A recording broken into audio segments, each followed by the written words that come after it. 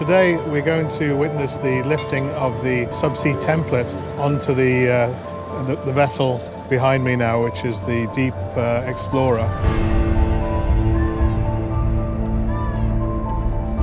It's the beginning of the offshore installation campaign for Dvalin.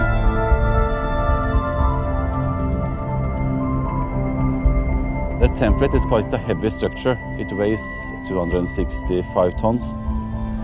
The cantilever out on the side there is actually for the fourth suction anchor, or the template will rest on that one. So it's actually due to the size of the template, we needed to extend the deck slightly on the side.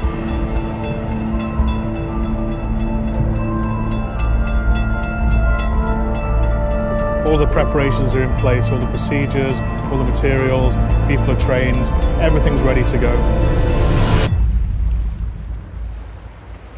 It's the end of my career. I'm, I'm, coming up to retirement soon, and I wanted to go out uh, with a with a big uh, project, and this is a big project.